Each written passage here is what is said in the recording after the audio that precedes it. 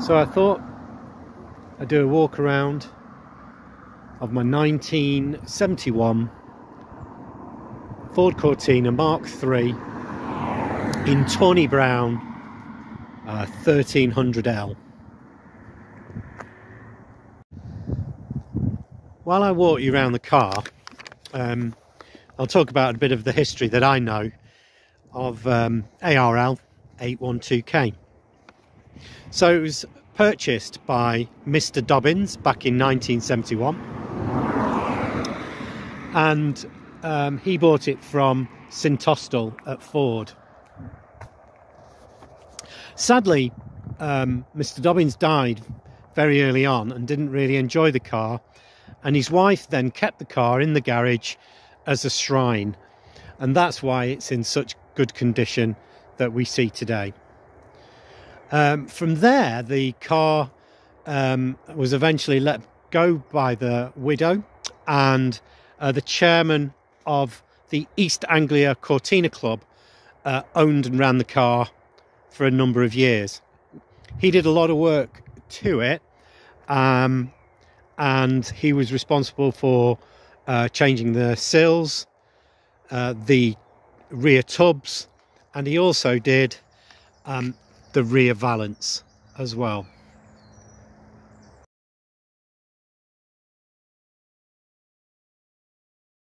I've done the um, brake master cylinder, uh, got one of those from Past Parts. Um, I've done the head on the engine, uh, repaired the seats, um, we've replaced all the shocks, springs and the ball joints. Uh, the calipers have been changed. They came from Big Red. Um, the clutch has been done and it's got a new clutch. Uh, the top of the head came off and it's had new um, valve stem oil seals because it was burning a bit of oil. Um, let's just see how much is on the clock now.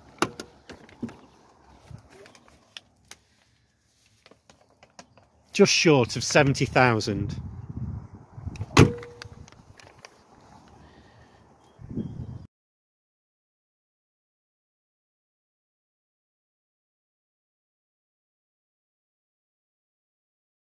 In my time, I've done the uh, rear void brushes twice. So, done that recently.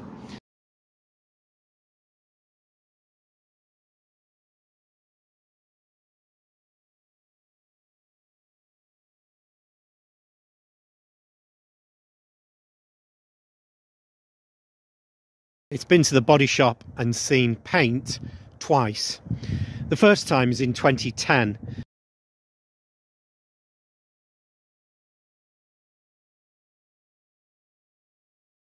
In the Mark III Owners Club, and they were organising a celebration run down to Dagenham uh, for the 40th anniversary of the Mark III. Um, it was a really good event, but uh, the car did look quite tired and I wanted to get the car looking just right. So the car ended up being taken um, to Peugeot uh, in Lincoln, and we got uh, quite a lot of work done uh, and a respray there. Special thanks to a club member at the time called Andy Norton Firth, who organised two panels for, um, wings for me. Um, these are the wings you're looking at at the moment, um, and the wings, the top of the um, underside of the wings were replaced where it usually goes along here.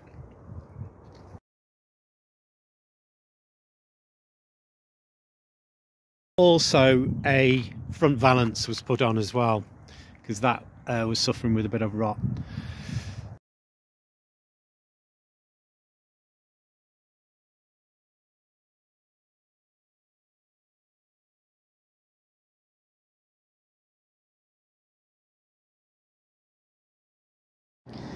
One of the things I've always wanted to do is keep the car standard as as it looked as it came out of the uh, factory.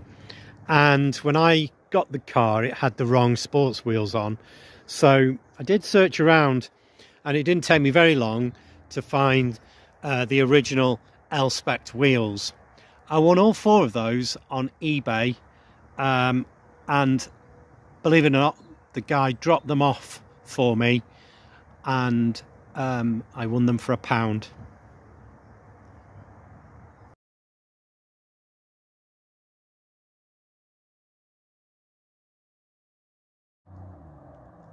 Taking a moment now to look at the interior, one of the things I can't get along with totally is the um, ergonomics on the seats. On long journeys, they absolutely can crucify you, so I do have to have a back support.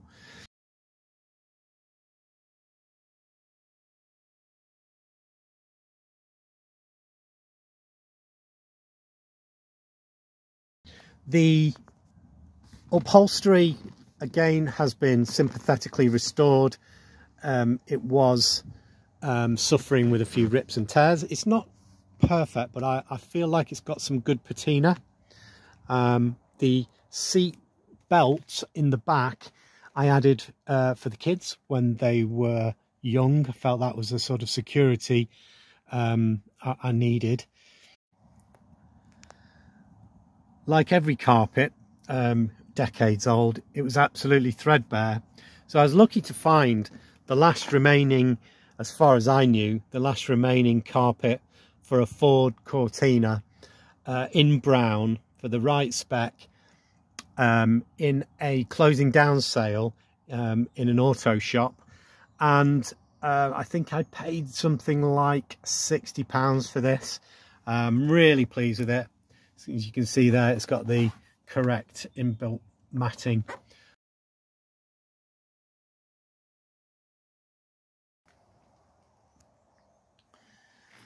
So just some period features, um, speakers um, from the 70s, all good. Uh, nodding dog, which has since stopped nodding a few years ago. Um,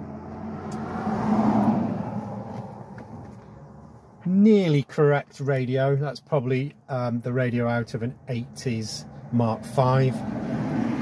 And then um, I don't know if everybody knows and remembers the faux orange.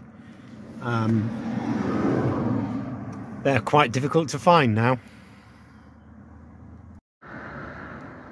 This is the work I've just had done from CBR Restorations in Cheslyn Hay in uh, the West Midlands. I've got to say, they've done an amazing job on rebuilding this arch here. And the paint match is absolutely bob on.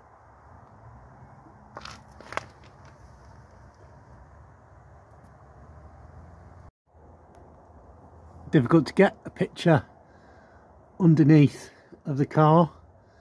Uh, January 2023, the last service, according to the oil filter. And there you can see some of the replaced uh, shocks and springs.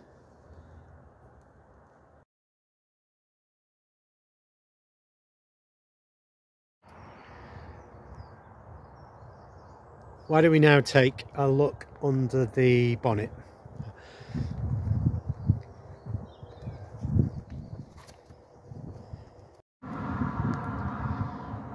So this area hasn't seen paint.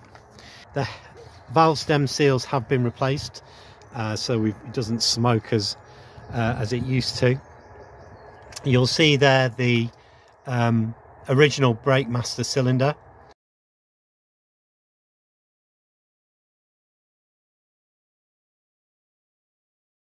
That's been re-sleeved by Past Parts and they did an amazing job with that. Uh, so yeah, I'm definitely not into concours or it's a practical um, runner, something that you can take to shows really.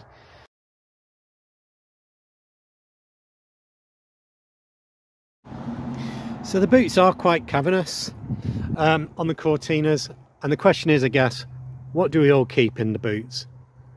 Well, the answer is spares and breakdown equipment. So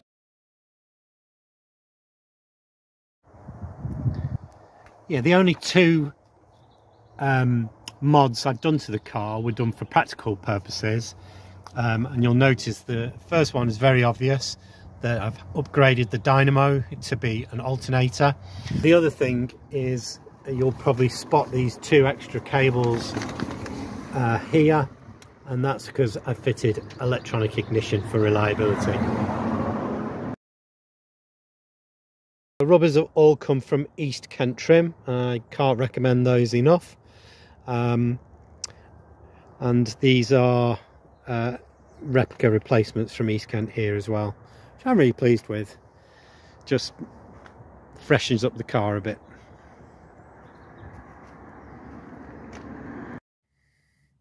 So how does the car drive? Well, it drives really, really well. Um, there's not a major difference between a modern car uh, and driving this Cortina. I suppose the standout difference is the brakes. Without a, uh, a servo, you really have to push that foot down um, to get any sort of uh, movement on the pedal. So the Cortina has zero security and I can tell you for why every key is virtually identical. And if you haven't got the key, you could just use a nail. So there's two additional items I've used over the years. One is period correct. So I've got my 1971 Krooklok, uh, and that's the one I mostly use. However, if I'm leaving the car for some time, um, and it's not a show and I don't um, I don't feel particularly that aesthetics are uh, an issue. I go with this big wheel clamp and it's never let me down. Let's see how she starts.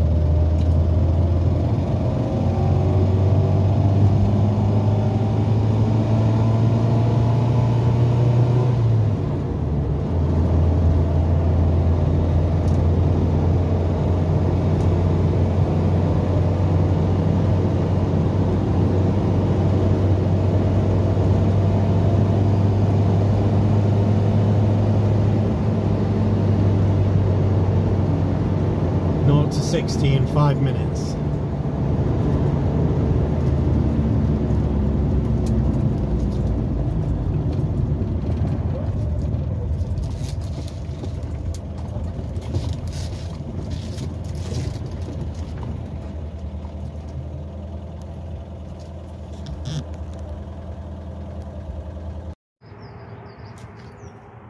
One last look round the car.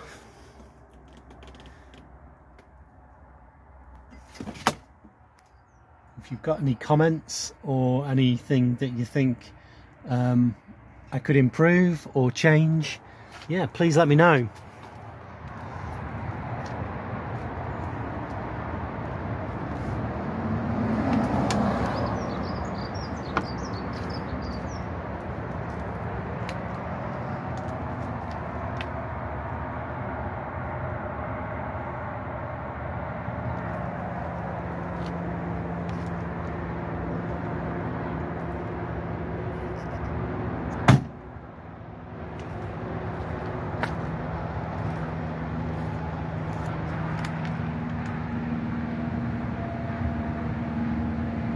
What I have done over the years is collect spares so I've literally got enough spares now to uh, build another one. Let's have a look inside um, this arch that they've redone. Yeah I'm really pleased with that.